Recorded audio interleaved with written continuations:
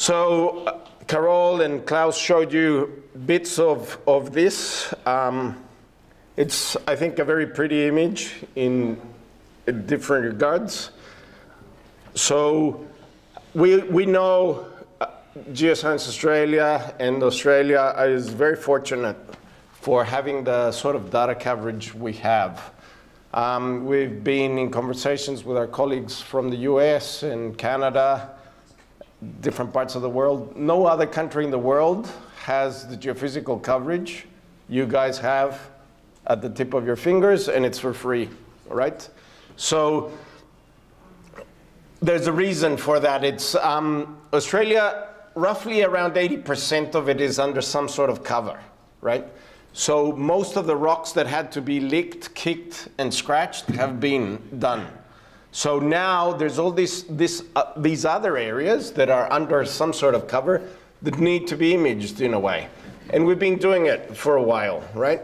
So back, um, back in the days in the 60s, GA had an initiative and we had planes and we had engineers. So we flew a very tight magnetic line spacing that has been increasing through time, which most people use, probably don't even know the origins of it. And we have done the same with gravity and um, radiometrics, right?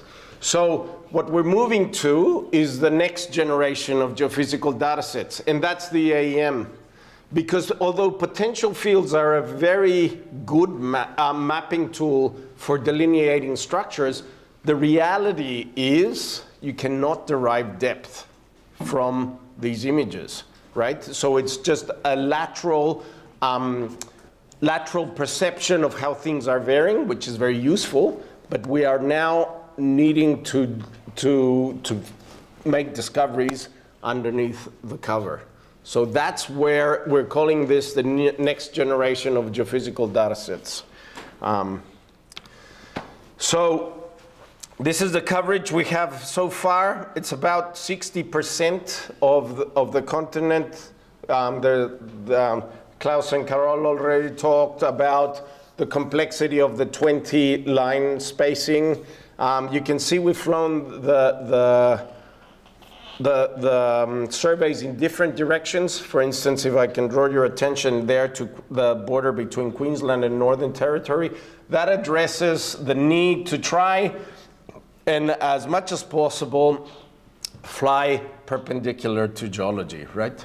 So that's kind of, it's a beautiful image. It has meant um, it, the, uh, the logistics has been something unheard of. Um, the USGS came and had a chat with us. They sent some of their top geophysicists, and we shared the technology, some of, of our inversion codes, and we sh showed the know-how. So it's quite kind of humbling, but also something to be proud that a small group like us in GA, which maybe 10% of the resources people-wise can have pulled this off, and we're kind of sort of leading the way in that regards. And it's, um, I think it's a great legacy for, for all Australians, not only in the mineral exploration space, because as has been said before, we are using these data sets for energy, groundwater, agriculture, hazards, and that's kind of the, the whole idea, right? Um, something that is very interesting, this is this what I'm showing you is just, are just the surveys flown with um, public funds. So um, that's, there's like close to 900,000 line kilometers from these, these are, these are numbers from David Howard from the GEOL survey of um, private owned companies that have flown. After five years, they, they submitted to the survey, and those are um, open source data sets that are there to be scrutinized, analyzed, inverted, and um, they provide a whole bunch of wealth of information that is out there. So just, just mentioning that. So a little bit of exploring through cover, and we've already talked about um, the AM technique. There's um, some dispute about who can coin it and claim it, and it's somewhere there between the Russians and the Canadians, apparently. Um, so they were flying EM to try and, and, and unveil big conductive bodies in resistive environments, right? Um, AEM then came to Australia, and of course we have a super complex environment, and that is we have a conductive cover, right? So I, I just wish, hope to kind of take you through the journey of how this is um, evolved and, and, and how we have progressed from having the possibility of standing up there in one of the sand dunes and having no idea of what lies beneath to then having a clear picture through an inversion product of you know, a layer that has been eroded and then um, filled and sort of with water or, or salt. And it gives us a, a very nice picture of where, for instance, to drill or take some geochemical samplings, where to go and source some water, things like that. It talks, tells a, a, a bit of a story about evolution of the continent too. Then, as I said, um, we are very lucky to have Neil and Seb, who have been in the journey through the inversion to then bringing their wealth of, of geology.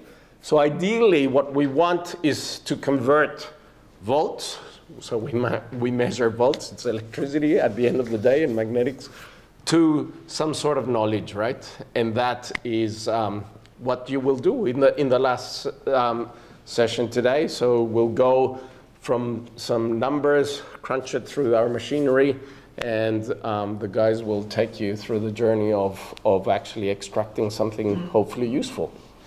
Okay, so just very basically, so what are the principles? Of AM operational principles. We have a, a, primary field that is transmitted in one of the coils. This will induce a secondary AM field in a conductor.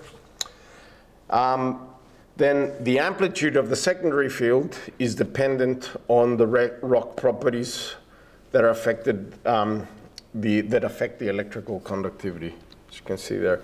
So just a little bit of scale. This is always important to have things into perspective. We have a footprint of, of the aircraft, which is, looks like a beam, a light beam, that can be up to several hundreds of meters at surface as because it's uh, the physics of a, a, diffusive source. As we go deeper, it becomes more diffuse and it goes wider, right? So a lot of people in the past have tried to debunk AEM surveys saying, well, I have a drill hole and I've done downhole conductivity. Well, there's many more things to consider this than just downhole is the absolute truth. We're talking things about um, scales and, and, um, and other nature. So although you could argue AEM works in a similar way, the physics are similar to a metal detector, you would not go and commission an AM survey to go and find grandma's ring that she lost at the, in the paddock one day because of the scale, right? It's just not that sort of technique. And that's very important when you're doing your planning, of course. So what, and manager expectations, what are we able to resolve, yeah? So that's that.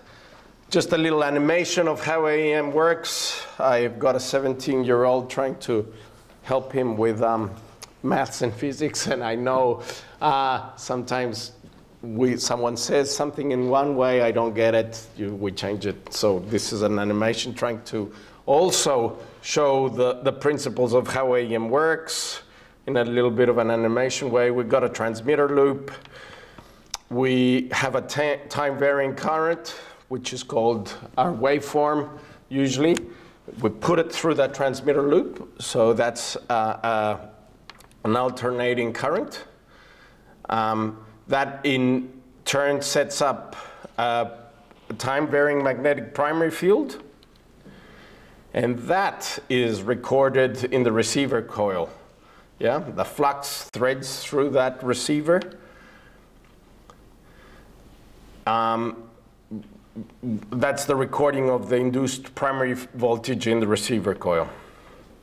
So now we introduce a conductive earth, which is what we're doing. We were kind of that first, those first animations were in isolation in the vacuum, but we are flying this over Earth. Um, and that is what in turn generates eddy currents. So that's why the, peculiar, the, the particularity of where we're flying will determine the kind of response we're getting. Yeah? This then will set, set up a secondary magnetic field um, and that's what, what is recorded in the, in the receiver coil. So we have a primary a secondary voltage, and that's what's logged into our computer or in our DAC, our uh, digital acquisition system. So what I've just explained there, I'm gonna have to crack you through the mathematical expression of that, and that's where it'll get a little bit hard, but don't, don't get overwhelmed. Um, um, Anand will probably spend a little bit more time there, but we have to introduce the forward response, which is the, the maths and the physics of how we're explaining this phenomena to actually crunch it through an algorithm that then produces a pretty picture. So it is not a simple task, but it is um, something not to get overwhelmed. And even if we have a slight understanding, I think it's better than having none. So what are the factors that, um, that control an AM response? There are several. One is the conductivity, so the, of the material.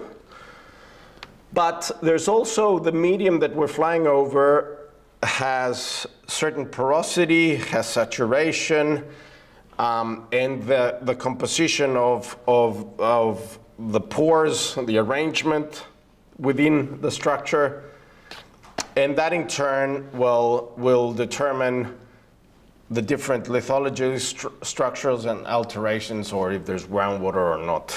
That, those are all factors that, that contribute to the response we are measuring on the AM signal. So those are factors that will come to play uh, again when, when you guys are looking at your interpretation, knowing the context and, and a little bit of the geological knowledge of where you are. So this is a controversial slide. Um, my colleague Neil doesn't like it, but I do.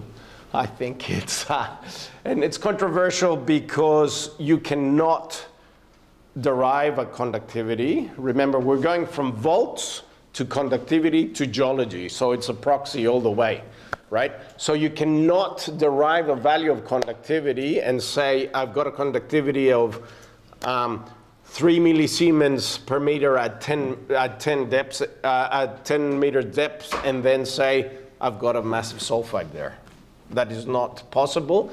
And the reason is you can see the broad range of, um, of conductive values, plus all the factors like porosity and water that we've talked about, that will um, determine what sort of material you have. But this is like a little dictionary. Look at it as a dictionary that can help you or assist you in, in, in, the, um, in the interpretation. So throughout these presentations, and because we're in the southern hemisphere and things are right here, um, conductors will always be red, and we'll talk about conductivity, and, and resistors are blue. So that's just so we get familiar with that through, um, through, through the day. With the inductive method of AM, what we're looking is for conductors. That's our objective. So also an important thing to have when you're planning. So if you're looking for voids or things, maybe you should be looking at resistivity. What you're looking is for clays, for massive sulfides, for saltwater intrusions. That's what we're targeting because of the nature and the physics that underpins this method, right? So enough said, but if there's no contrast, you won't see anything. That's, that's kind of a given, right? Okay, just a little bit of history, and that's, we're getting into the pretty pictures. Um, uh, a little bit of history about AEM through GA's history. So we had some initial trials in the early 90s more around salinity mapping, and that happened mostly around the border between New South Wales and Victoria. Yeah? And that was quite successful. That's kind of where some of our learnings about how to model AEM came about. Um, then there has been several other things like the Paterson, the Pine Creek, and those were at different scales. We had sur surveys that were flown at 500 meter separation between the lines, two kilometers, five, etc. Till more recently, we have settled on the 20 kilometer line spacing, but we have some projects that are targeted for, for instance, groundwater exploration. Um, one is the Upper Darling Flood plain that has just concluded. That's a 30,000 line kilometer survey. Anand will show you a little bit more about that. And that has also variable spacing, much, much finer resolution. And, and the information you can get out of it is just um, astounding, I think. So, so a little bit of, to continue in the history, we have moved from what is a data transform. So you would have heard of conduct conductivity depth images or conductivity depth transforms, which are not really inversions. They're just like a, a quick transformation. Think about apparent resistivity, if you guys might be familiar with it. And there's a couple of knobs and, and things you can, and levers to pull and push that can produce an image. So that's a reasonable um, image we could argue, but we have definitely moved from bump finding to more quantitative analysis. We want to actually know and tell the driller what depth do I expect to find that contact. And that, from our perspective, can only be done realistically with inversion. Um, so, through history, GA has developed the tools to be able to do that, and um, I will be talking about the QA and QC side of things, but one of the tools we use to do our curation and our quality assurance and control is the inversion. That is our main instrument to query the data through modeling it, right? So um, maybe Anand will go a little bit more about that, but I'll just tell you briefly. We have different generations of codes. Most of you probably have or probably haven't heard of the GA LEI, which is the layered earth inversion, was developed by Ross Brodie. And then we have a new generation, which um, is what, what we'll present and show you guys today. They're all open source. So a little bit about the survey design. Someone there said that they did a, a survey design. As I mentioned, we have these beautiful images um, of the whole continent. This is the gravity image that was put together by Richard Lane before he actually, unfortunately, left us. It's an image that is composed by ground stations, airborne stations, and satellite imagery. Yeah? So that's, the, that's why you guys, or everyone in Australia, or the world has a gravity map, a seamless gravity map of Australia um, because of work like that.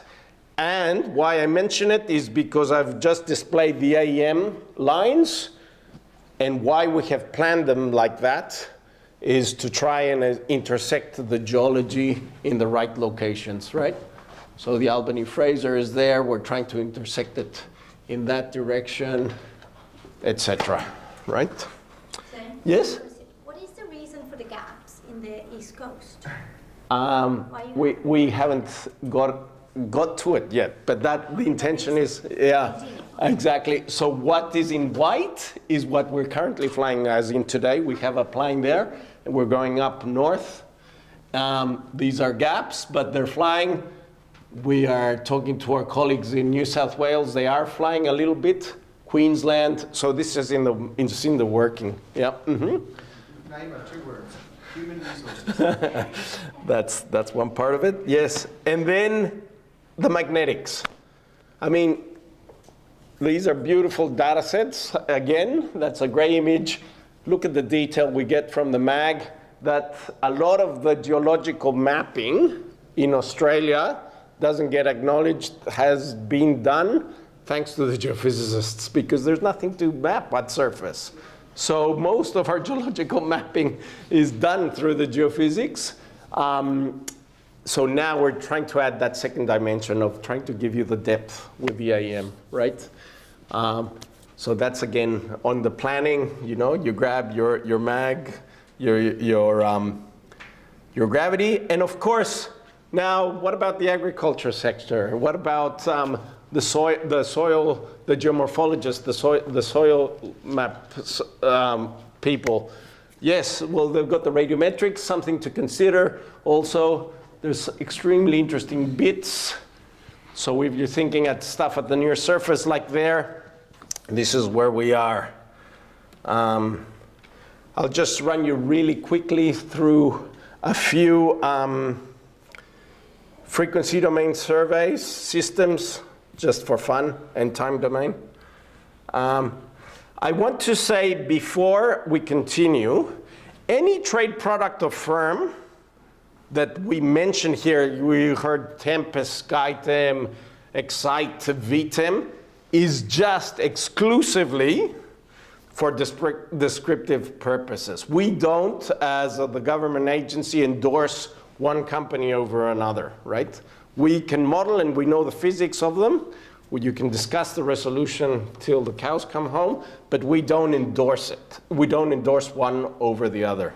I'll tell you a little bit about our technical deeds, which we have established with them, but that's a different story.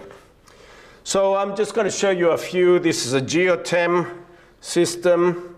That is a HoisTEM that was developed in Australia because it looks like a Hills hoist, as you can see there.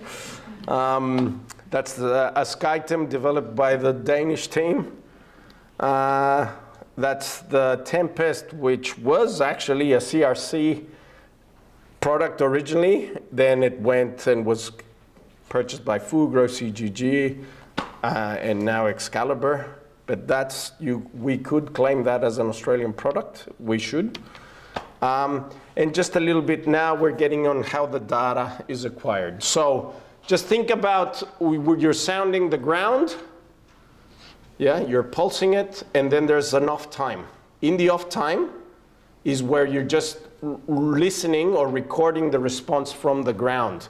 On the on time, we're actually pumping the primary field, right? So you could say the contrast is so high that it would, let's say, pollute the, um, the signal because it's induced man-made um, signal. So what we're listening to in the off time is actually the signal from the ground.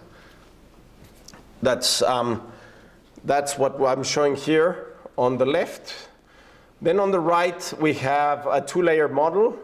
Um, if we were talking about one of the fixed wing components, you are measuring with a dipole the x and the z component and the y. We usually don't get delivered the y. And that's what it looks like. It's how current is decaying through time right? So I was just talking about we have a deed of understanding um, with G in GA. Um, what this means is we have spent a lot of time looking at the technical aspects of each system with the system contractors. So we have an agreement of what the minimum noise level is, for instance, what the space between the receiver and the transmitter is the, the, the, moment. There's a whole bunch of technical specifications that are absolutely essential. So when any company comes and flies in Australia for the government, we have a deed of understanding that says these are technical specs that you have to adhere to, and that kind of guarantees that the Australian taxpayer is, you know, not spending their money on something that we can't model, at least. I'm not going to promise anything else. Uh, but if they are on our deed, um, we, can, we can model it. These are the four companies that currently are on our deed. So a little bit about the workflow, and I won't dwell too much on this, but just because this is what's going to happen. So at the first stage, it's the acquisition, the planning. Then Um, we do a little bit of the curation through an inversion, and that's where Anand will, will, will spend some time going from volts to, to a conductivity section or, or plan if you were flying at a tighter li line spacing. Um, of course, we are acquiring um, data roughly at about every 8 to 15 meters separation, right? So if you think of that, that's a huge amount of data, and each point can be treated as an individual sounding. That's what that's trying to reflect, that little cross. Um, then Seb and Neil will, will do their magic and show us how you go from a conductivity section to a meaningful geological interpretation of what, what lays beneath. So I hope you're there with me, because these are the four hard slides I have. okay, so and it's his fault, but it's okay. I, I like a challenge. So um, please be with me and, and, and, and try whatever you can get from it. it it's, it's good. We Just can know that they're there. just acknowledge what I'll try to, to try and explain. It's how the forward model, um, how many minutes is that? 12. 12, that's fine. Um, so how we're going to go from the conceptual physics to, to actually doing it in, expressing it in a mathematical way. So the forward calculates a theoretical vector received given a conductive model that's described through Maxwell's equations. And these, in order to get a forward model, we need to solve partial differential equations. That seems complex. It's for different complexities for different people, but just be, where, be there with us, you know? we have different concepts about how we discretize the Earth, right? And in geophysics, we talk about the quasi-static approximation, which means depends eh, physically what we're looking at. We're trying to solve problems at a scale that are much shorter than the greater wavelengths. So then a lot of terms are simplified. That's in a nutshell what, what, what, what we're doing, okay? you will see and hear a lot about 1D versus 2D versus 2.5D. All the codes we develop in GA are 1D. What that means is that we assume things are changing with depth, but are horizontally homogeneous, right? And there's a reason for that. We found 85% of our soundings can be fit with 1D. And um, when you start bringing complexity into the model, of course, that increases the degree of ambiguity. So we want to stay away from that. All right? So I'll just run you uh, a little animation quick of how, um, and Anand will go into much detail, much more detail than that, but this, this little animation just shows in the red dot here, the red dots here, that's your observed data, and then through the iteration process, which is an inversion, you try to fit the model. Then you can get a conductivity that is varying with depth. That's in a nutshell what I'm going to show you in hardcore maths. so the first concept, and that's not too hard, it's the reflection of a plane wave. So here, the expression up there is a dipole, which is your plane. It's interacting with the Earth. And that area there, that region, is called the air, um, the air-earth interface. It's a very important concept because according to that, your mathematical, um, the, the, the mathematical assumptions are one or other at the boundary conditions, right? One wave is traveling downwards and it's being reflected, right? That's, this is what this equation is, is showing, and it's composed of two bits. Let's say this arrow is this bit, this arrow is that bit, and that reflects that arrow coming in and coming out. That's a reflection. That's the, that's the um, plane wave interface. There's another component, uh, sorry, So we can see there's a difference there. This reflection coefficient, otherwise these two are the same, and the, the change of sign, which means this wave is traveling that way and that one is traveling that way. So that's the change of sign, the different direction, and this coefficient happens at that interface. Then there's another component that keeps going downwards, which, which reflects this other vector. And that's what's transmitted into the media. Sorry? I won't get more into that, but this, um, the two components of permittivity, conductivity, permeability are physical properties that tell us how easy or hard it is for electrical charges to flow through the medium, right? So just, just take that in mind because these are, this is what, this is kind of all the machinery that we, we put together behind so then an inversion can run. Okay? We're getting there. I mean, it's not too bad. We're going then, there's these things called the Fresnel equations that talk about tangen the tangential fields. We derive the reflection coefficient, which is what we talked about, that coefficient that is characteristic to that interface where, where the air and the earth meet, let's say. And then the transmission coefficient, which accounts for the height of the dipole source. So if you, in, in plain words, if I can, that accounts to how far or close we are, in this sense, the plane, um, from, from our source. Okay, I won't go more into that. And then this is interesting because you will use it.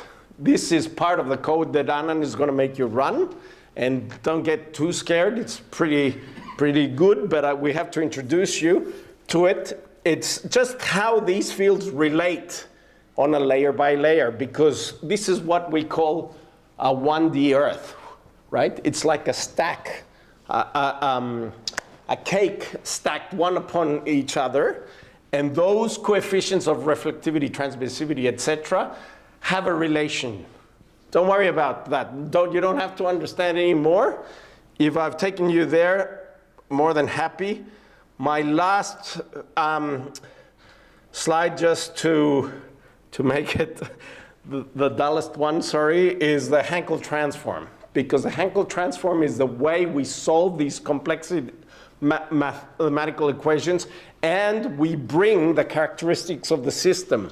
That is, um, the dipole moment, the characteristics if you're flying a SkyTEM versus a Tempest or whatever, those are, are, are all kind of put together in the pot.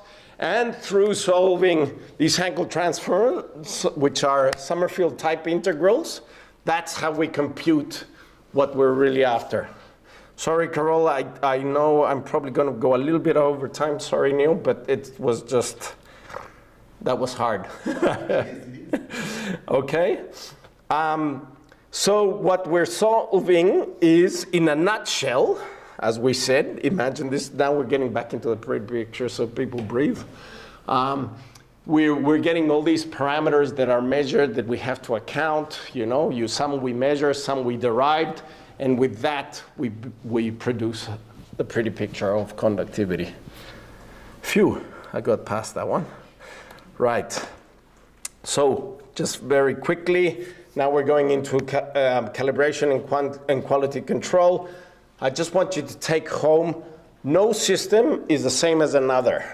So there's no bespoke, um, every system is quite bespoke, there's no rather um, off-the-shelf so solution. So we must understand the peculiarities, the idiosyncrasies of each system. And the problem with this, or the good thing, is the systems are constantly evolving. The electronics are evolving. The materials are getting lighter, et cetera, et cetera. They're, they're trying to sample at lower frequencies. They're um, pumping more current through the dipoles.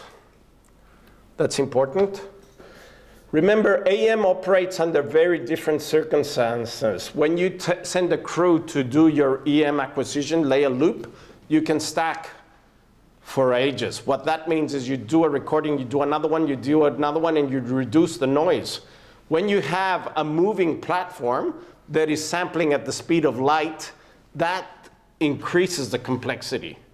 So there's a lot behind this. The systems cannot be calibrated in, in, in, in, the, in the lab. That's another fact, right? Some aspects can, but essentially they can't. Um, time quality control is time consuming. So yes, treasure that. One thing is to value your data acquisition. And yes, of course, a lot of the contractors do a very good job on that. But I think when you commission a survey of this nature, you have you better be sure that you or someone in your company is kind of doing the same. Just briefly, I talked already about the, the established deeds. These are these kind of charts that we have signed with them, so they're legally binding. And they, they, they talk about, you know, the nominal heights, the ground speeds they should be used, number of moments, every kind of peculiarities that describe the instrument. And why is this important? This is a pretty picture, you must say. It's a bit crowded, but, but um, these are just representations of uh, one model, which is this model, of a three-layered model, and how different every instrument responds to that same ground. So you need to understand your instrument. That's, in a nutshell, what I'm trying to say, right? Um, I saw Antonio there at the back talking about geometry and moving his hand, which is exactly what I'm going to talk about now. So when, with the fixed wing systems, um, those three components, you're measuring the vector in three, in three dimensions. Because although we're doing 1D um, inversion physics, the, the, acquisition is 3D. There's no, there's no getting around that. So that's why the complexity is there too, right? So understanding those rotations and how those things are moving and twisting are quite important. So don't trust me because what I'm trying to show here is the response, different responses by changing the range. So see what's called there dx and dz, and you will use this in the practicals. So what I've done here, what we've done here is we showed you the effect of varying that distance, either vertically or horizontally, you can see the different responses. So if you don't account for that really well, you're going to get a very different response, right? You can get variations in thickness or on conductivity of your model. So that's kind of just the effects of the system geometry, what we call.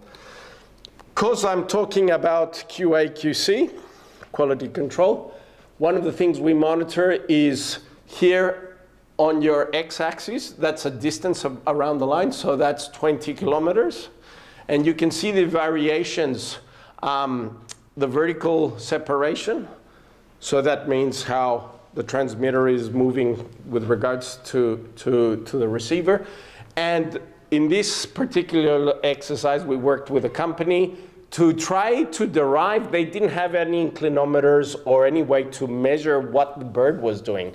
So we did a whole bunch of different exercises like filming, etc. And you can see the variability, you know? So that's, that's quite important. Those are things that we put in our QA/QC. And then Seb will talk to this, I hope, a little bit more. These are things we produce that are called multiplots. And of course, it's um, lots of people just oversee them because I ju I'm just interested in this. And why wouldn't you? Look how beautiful, you know? Um, the reality is all of this is really helpful. These multiplots are like um, the pilot looking at, at, uh, uh, uh, at the dashboard saying, okay, wh what's going on? I can try and understand. So in this panel, we have the data, then the level of fit, as I said, that's the agreement to some extent between the model and the, um, and the measured data. As, as I showed previously, the variation um, of, of the receiver, the transmitter. Then we have here, so that's the transmitter height. Then we are monitoring the spherics. And you see this little peak here? That's a power line right? So how many times hasn't someone said, oh, yes, drill there? No, there was a power line or a pipe or something. So Um, and I think um, uh, probably Seb will, will talk a little bit more about that, but it's just important to understand all these things. They're recorded, they're there on your data sets. So display them. When you're looking at an interpretation, Seb will do that. They, he will look at these things and say, am I fitting the data first? Yes, no. Um, am I over a pipe? Am I over close to a power line? Those are things that are important, right? So this is, um, this is why we generate these multi-plots. Yes? That one where you've got the power line, what is that actually plotted? What's on the vertical axis?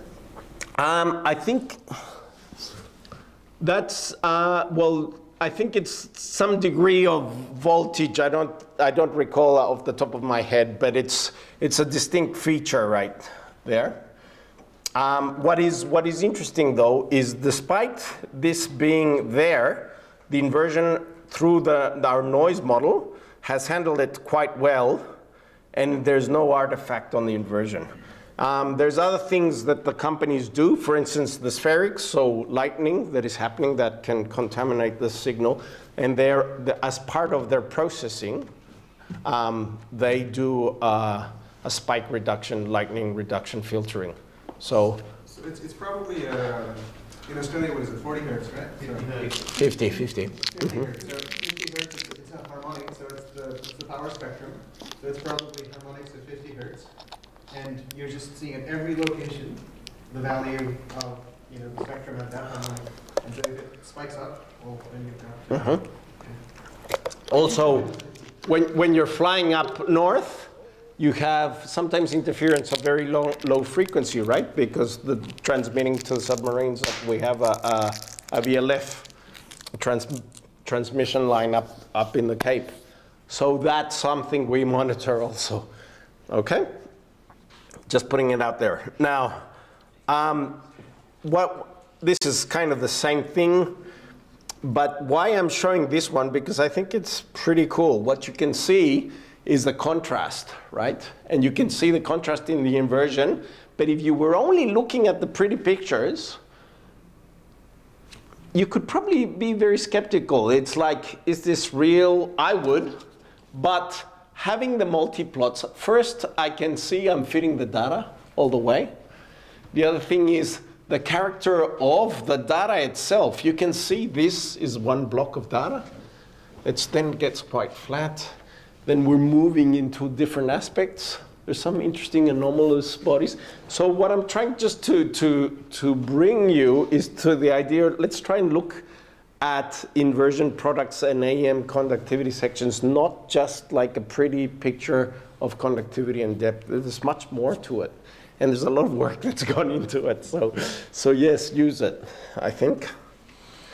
Um, a little bit more of the model assessment, and I won't go into that too much because that's Anand's job, but this is one sounding. So when we are assessing, and, and why I touch on it is because this is, as I said, our, our quality control, quality assurance tool. When we get data, we get data delivered in three different stages. When they're in the field doing the acquisition, then at a process where they've kind of bundled it up and give it to us in the final product. So whilst the data is coming in, we're doing our checks. So as, as, uh, as I said, sort of part of our assessment is we're checking how well or not we're fitting the data. And the fit means the match within the noise envelope, right? So why that's important, because I'm gonna take you to a practical that just shows the noise envelope. This is a similar derivation of, um, of a multiplot. The colors up there show where there's more or less agreement between the reds and the blues, so you want it to be as white as you can. And um, where it's not, it's kind of indicating where the data is fitting better or worse. Um, I won't spend much more time on this because we need to move on. Um, setting standards, we also, one of the things we do as quality control is we get people, we've got all the companies to fly a coincident line we have two calibration ranges. One is in the Menindee Lakes where we have previous conductivity logs down. and the other one is um, very close to Perth called the Gingin Calibration Range, which is here close to Julimar. What have we managed to, to derive from this? You can see um, four different sections, you know, that have been flown with the AEM. And, well, we can argue if there, one is better or worse, but we have the downhole conductivity that there has been coded the same as, as, the sections. And you can see we have quite a lot of confidence that we are modeling what is resolvable with the, with, um, with the four different systems. Interesting in, in this part of the world between, in South Australia, between WA and the Northern Territory, that's called the Eastern Musgraves. There's some historical surveys. Not, you can't always have access to the calibration range, but the amount of data that is flown in Australia, there's a good chance you can get your contractor to fly over an existing line, right? And that is very helpful because you can do direct comparisons and see what you're gonna derive. Um, one target, what, what, what is a feeble target for some, what is feeble for some is a target for others. So different systems in this case have been looking on the left there for the, that's a discrete conductor at depth. And on the right, we're looking for a paleo channel. I'll show you that same line for the paleo channel. So yes, the derivation and then the analysis at an individual sounding. Then through, through um, conductivity and, and, and, interpretation, you derive um, a, a, map of cover thickness, which, uh, the, which is in the realm of, of the latest section. And just this is another example that is probably just in, interesting in the sense that we have two systems that have been flown opposite directions. They're, very, they're different systems and just having a little bit of ancillary data like lithology in this case can assist in the interpretation, but also assessing the model as part of your QA/QC. So you have drill holes, get them to fly over them.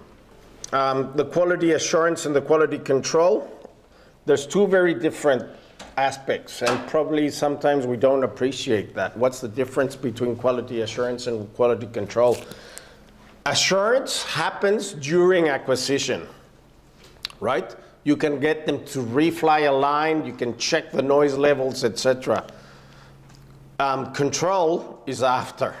It's all good. It's done. You can say you can go and put get a tick with your manager and say, ah, they did it wrong. but you, there's a hard chance you're going to get them to refly when the crew has demobilized.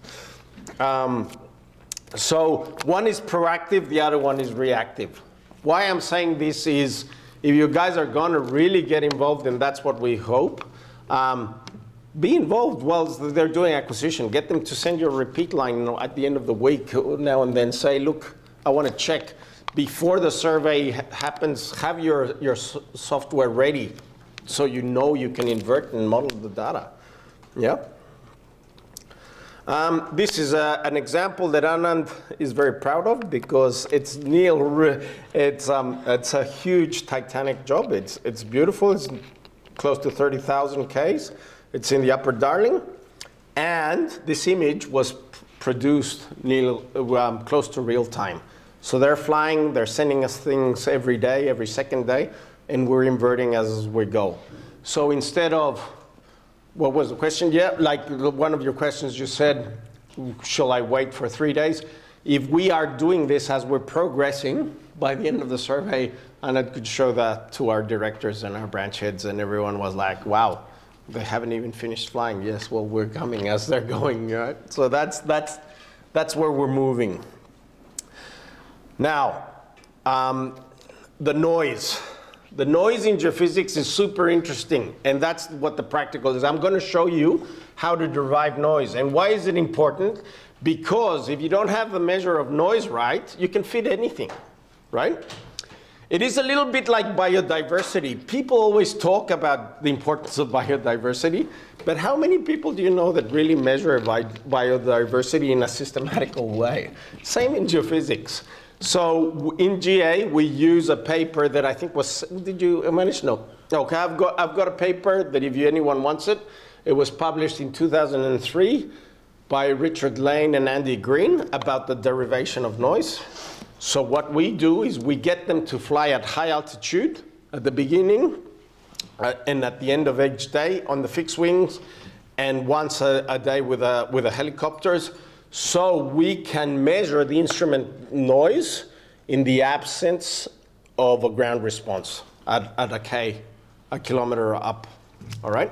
So what I'm going to do is I'm going to take you through that stage of how you derive noise that you will then plug into your inversion. Then you will get a nice conductivity model, and then you will get a beautiful geological interp out of. So that's where we're going.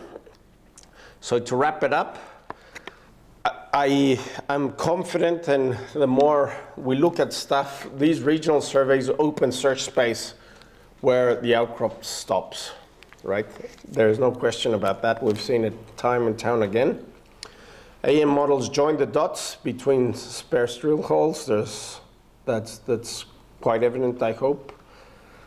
Um, it's a very good method for deriving depth, as we said. So it can model the basement cover interface, right, which is very important for different purposes, but I'm not going to tell you about things you already know. Um, AM surveys are ideally suited for exploration in the top 300 meters, right? Um, particularly in the Australian condition, sometimes even shallower, of course. There's no question they reduce exploration risk. And now we're going to move into the practical. So what you're going to aim to do is derive these values of noise. So you, you, I'll run you through a little exercise. Um, we're going to derive noise for two systems, a SkyTEM and a tempest, which are, um, I'm, I've provided you the data from the high altitude. We call them zero levels. And hopefully we'll go through it and some questions will come. And that data, we might use it. Well, you use it implicitly in the inversion that, that will be the second half of um, Anand's talk. This is, the, this is the paper I was telling you about, estimating noise levels with AM data. So if anyone wants a copy or you can download it, it was published in 2003. Okay?